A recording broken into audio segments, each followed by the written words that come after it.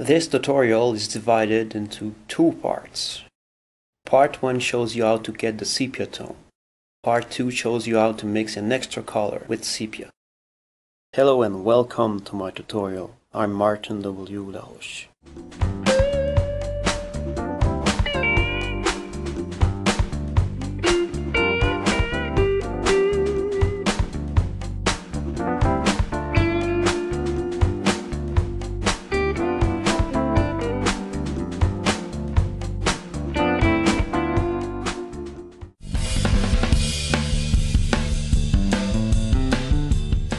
First of all, you must verify what is the actual color mode.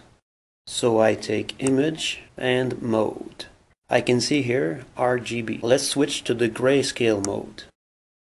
I click OK to discard the colors. Then I have to go back to image, mode, and choose the RGB mode again. To convert any kind of photo to the sepia tone, you must be in a color mode, RGB for example.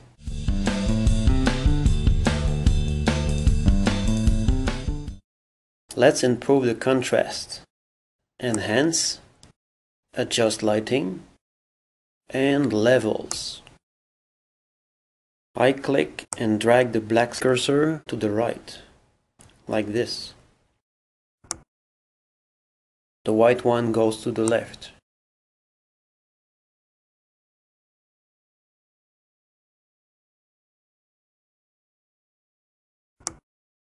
And the gray cursor to the right. That's better. I hit OK.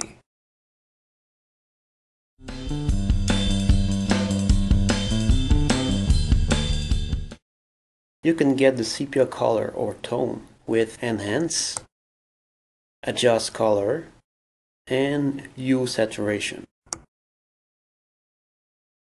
Here we have the Colorize command.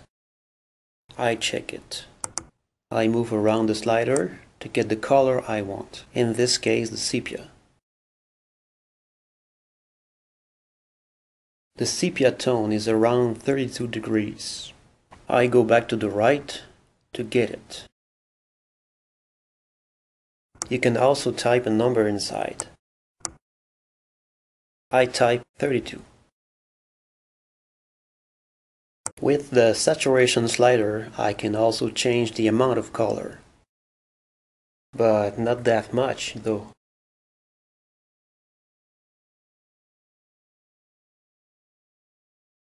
Forty-five looks good. I hit OK. At this stage, you can stop everything and save your work. But I'd like to show you another improvement.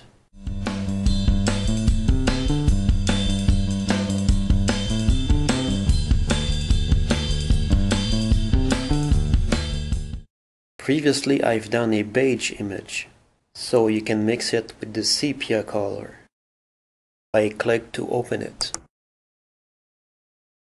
Here we have a kind of recipe to get the beige color.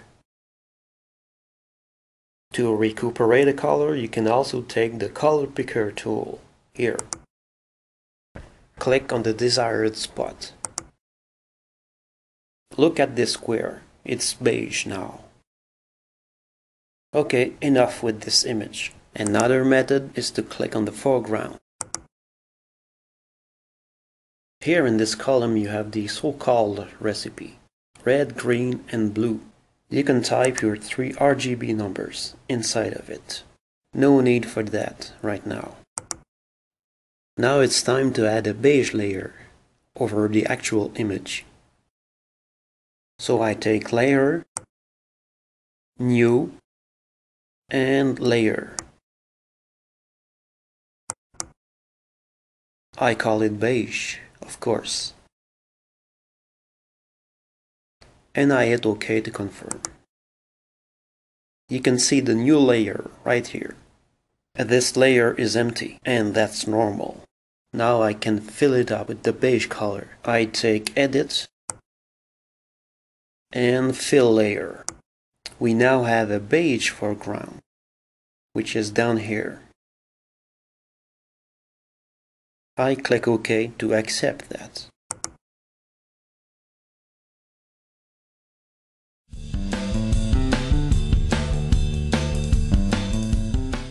The beige layer is hiding my image, unless I change the blending mode. By default, it is set at the normal position. Here, you can try many modes. The darken mode, color burn, the overlay mode, and the multiply mode. In our case, let's take the multiply mode. Around here, you can change the opacity. So I drag the slider to the left to see what's happening.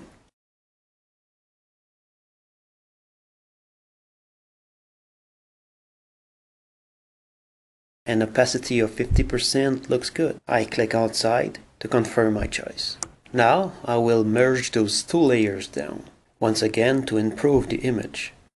I take layer and merge down. I have one layer, not two. Once more I'll change the lighting. With Enhance, Adjust Lighting, and Levels. I drag the white cursor to the left to see the effect.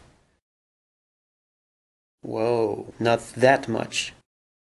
I go back to the right.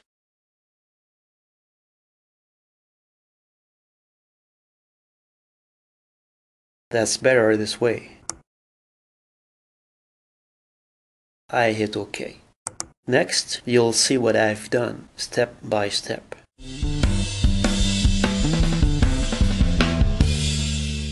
To see my work, I will click here, the History tab. It can also be found in the pull-down menu.